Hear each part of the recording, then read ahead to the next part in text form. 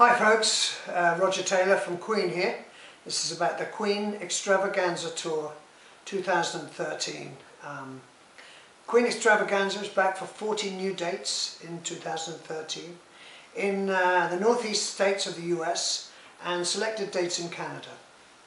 Uh, after the first tour where uh, we've, we've had a great response and uh, it looks like their, their uh, reputation is growing deservedly. Um, before returning uh, in the summer for an amazing 20 residency, uh, 20 date residency in Quebec uh, during August.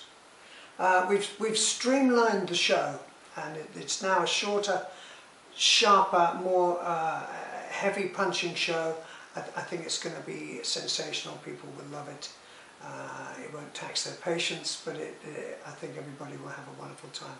We still have the incredible Marc Martel leading the band and uh, the amazing Brian Gresh on guitar. We have it's just a fantastic um, band, and uh, and uh, I just hope everybody enjoys it as much as or more as the first uh, tour, which uh, I felt was uh, amazing. I thoroughly enjoyed it. So tickets are on sale for all dates now. The Queen Extravaganza 2013 onwards and upwards.